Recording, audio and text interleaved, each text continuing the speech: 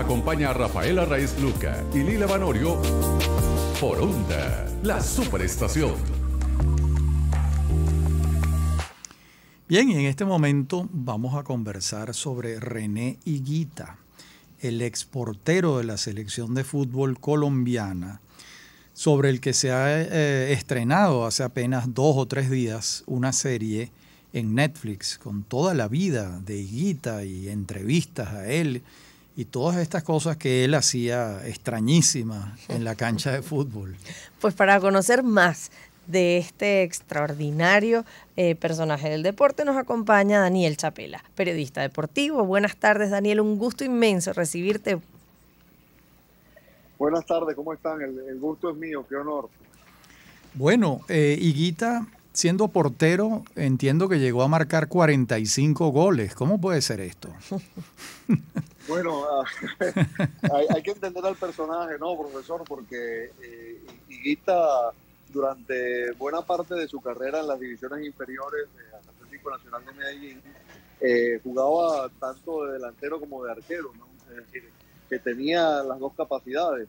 Eh, en algún momento se fue por la de arquero porque allí mostró más capacidades, más habilidades, pero era eh, un jugador con una capacidad para, para entender el juego muy diferente a los demás, tenía una intuición especial, tenía además un, magnífico golpeo de pelota. Yo tuve la suerte de, verlo jugar muchas veces en vivo, de entrevistarlo, y, realmente diría que fue alguien que en su momento, en su época, revolucionó la posición de arquero, ¿no? Que, Daniel, pero esto tiene que ver, a ver, no, quiero, no vayan a interpretar que yo estoy restando mérito a, a Higuita, pero también tiene que tener mucho mérito el, director técnico. Es decir, yo no veo a cualquier eh, entrenador diciéndole al portero, sí, vete a la cancha del contrario, anota un gol y deja descuidada la portería. ¿Quién se quedaba allí? ¿Quién le daba ese voto de confianza? ¿Y esto era qué? ¿Con tiros libres o con jugadas desde su arquería hasta la otra? No, bueno, él, él, era, él era cobrador de tiros libres, él era cobrador de penales. De hecho, en el primer título para un equipo colombiano en la historia de la Copa Libertadores que se definió en Bogotá en 1989. El Atlético Nacional de Medellín le ganó la final por penales al Olimpia de Paraguay. René Guita fue el héroe aquella noche, tapando los penales de Olimpia y convirtiendo el suyo. ¿no? Tenía una gran capacidad para eso, sobre todo. La mayoría de sus goles vinieron por allí. Eh, es verdad que, era un arquero que asumía riesgos, eh, pero no había entrenador que pudiera contra su propio espíritu. Ah, eso, claro. tenía, sí, sí. Yo vi, el, yo vi el documental, porque es un personaje de mi primera juventud, vamos a llamarla así. Y hay momentos, Daniel, en que él sale de la portería, que se va con la pelota él solo, llega, chuta. Es decir, es una cosa, pero alucinante. que ¿Cómo un director técnico puede permitir? O sea, la pregunta es, ¿eso pudiera pasar hoy en día? yo lo veo muy difícil, lo veo muy difícil, pero, pero eh, él, él, es parte de un, de un fútbol distinto. Eh, él, él, era realmente un arquero, habrá que utilizar el adjetivo indicado, extravagante, es decir, eh, tenía, tenía aquel espíritu indomable, le gustaba ser protagonista, le gustaba participar del juego y él, él fue parte de aquel Atlético Nacional de Medellín y también de la selección colombiana que era un equipo eh, de fútbol atildado, un equipo que tenía mucho la pelota. Él, él, él, le gustaba, a él le gustaba ser parte de, de ese espectáculo. Y bueno, con sus consecuencias, ¿no? Porque era, era alguien que asumía riesgos y todo, todo arquero que asume riesgos después termina Daniel, ciertas consecuencias. Me acabo de quedar, pero en un tacón y sin tapita, porque en el monitor que tenemos acá en el estudio estamos viendo imágenes de lo que se llama el escorpión, que parece que es un movimiento que era como que el sello de Higuita. Increíble. Sí, sí. Bueno, e, esa jugada del escorpión. ¿Cómo puedes describir ese lanzamiento, el escorpión? Bueno, e, él, él, él, practicaba mucho eso en los entrenamientos. Eso es como una especie de, de chalaca invertida, ¿no? Es decir, eh, avanzar el cuerpo hacia adelante y golpearlo con los talones de los pies en el aire, ¿no? Exactamente. Eh, eh, él él hizo esa jugada nada más y nada menos que en el estadio de Wembley contra Inglaterra.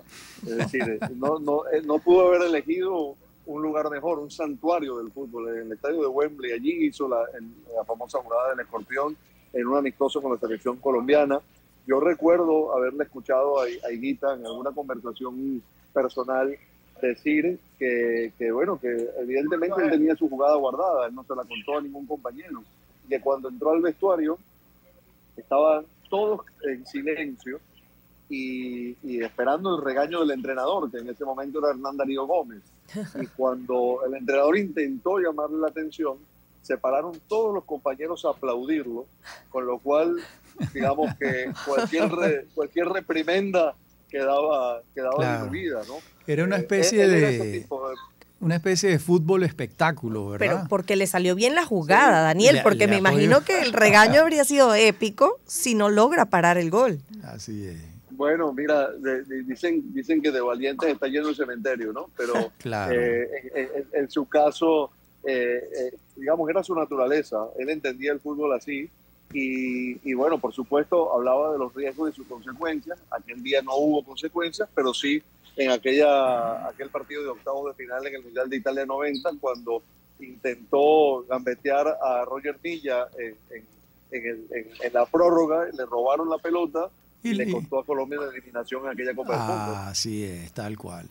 Ahora, eh, él, en esa selección colombiana es la histórica, ¿no? Donde estaba Valderrama, estaba, eh, ¿cómo se llamaba el otro? El Tren Valencia o el Trino Espilla. Tú, tú me corriges, Daniel. No, bueno, es que, es que estamos mezclando, profesor, algunas generaciones allí. Ah, ¿no? ya, claro. Eh, Suelo hacerlo. No, eh, eh, el, el pibe de Valderrama sí, por supuesto, ¿no? Sí. Eh, ellos consiguieron la, la clasificación para Colombia al Mundial de Italia 90 después de unas cuantas décadas. Eh, Colombia había estado en el Mundial de Chile 62 y no había vuelto a los mundiales hasta ese de Italia 90. Así que fue, fue un hecho histórico que alcanzó aquella generación, efectivamente, de Valderrama, de, de, de Leonel Álvarez, del, del propio Higuita, de, de Andrés Escobar. Andrés Sí, Escobar, ese fue el que, ese fue el que Claro. lo mataron, ¿verdad? El del el autogol. que mataron, Sí. correcto, después del Mundial de Estados Unidos 94, ¿no? Lograron tres clasificaciones mundialistas consecutivas y no volvieron al Mundial hasta 2014. Es decir, que eh, a- aquella generación es recordada por eso. Higuita fue el arquero de Italia 90. Después desapareció de aquel grupo porque, entre otras cosas, eh, tuvo problemas personales, tuvo problemas con la justicia en Colombia. Él estuvo involucrado en, en- en- en un tema de un secuestro eh, que involucró a- a- a- a- al narcotráfico y eso le, le terminó costando pagar cárcel, ¿no? Entonces, de alguna forma su carrera eh, se Pero, vio truncada por aquella situación. Sí, el escorpión tuvo una carrera movida. En En- todo caso, ¿ya viste el documental, Daniel? No lo he visto, pero, pero no, no me aguanto las ganas de verlo. Tienes de que verlo. Tienes que Sí, verlo, lo es ver. muy bueno. Y todo este tema de Pablo Escobar y el narcotráfico aparece en el documental. Sí, bueno, se sabe o se supo que él tenía una relación estrecha. Lo que pasa es que eh, eh, es un tema delicado. Yo no voy a emitir juicios de algo que no, que no conozco. Realmente, Ah, no, claro, uno no, no tiene idea pero de eso. Sí, eh, la realidad es que en esa época era, era muy complicado, eh, sobre todo con los jugadores de esa zona de Medellín, que de alguna forma u otra no te tocara eh, la sombra del narcotráfico, ¿no? De acuerdo, Eh, así es. mu- Muchos de esos futbolistas eh, eran convocados por Pablo Escobar, eh, también ocurría con los, con los narcos de la zona de Cali, eran convocados para jugar partidos amistosos contra ellos mismos o contra sus eh, sicarios, y, y ahí de quien se negara. No, imagínate, si no iba, te, costaba la vida, así de sencillo, ¿no? Sí. Bueno, sí, o a ti o a tu familia. Exactamente. Mm, Daniel, bueno. ha sido un gusto inmenso conversar contigo, además hablar de un personaje tan peculiar, tan pintoresco como el loco Higuita, porque también le llamaban Eh, así, sí, el loco el Higuita. autor del escorpión parando goles. No, el, placer ha sido mío y, y un orgullo que me hayan invitado. Gracias. gracias Daniel. Bueno, Lila, se acabó el programa.